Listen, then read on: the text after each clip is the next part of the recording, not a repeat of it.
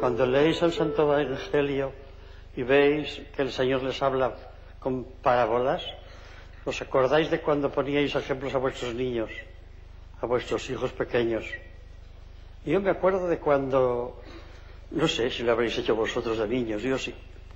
Yo he sido un trasto como vosotros a lo mejor no, pero yo sí. Y, y, yo me escapaba a la cocina, me decían que no debía ir, pero había allí en la cocina dos cosas buenas. Mm, una cocinera que se llama María, que era muy buena, que sabía siempre el mismo cuento. Un cuento de ladrones, pero de ladrones simpáticos. Y además había unas patatas fritas colosales. Las dos cosas las tenía yo vedadas. Oír el cuento, porque le decíamos, no, cuéntanos un cuento, no. Oye María, cuéntanos el cuento.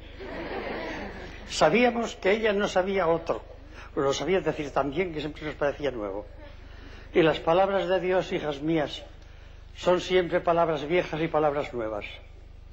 La Iglesia de Dios y los sacerdotes de Dios, desde hace veinte siglos predicamos lo mismo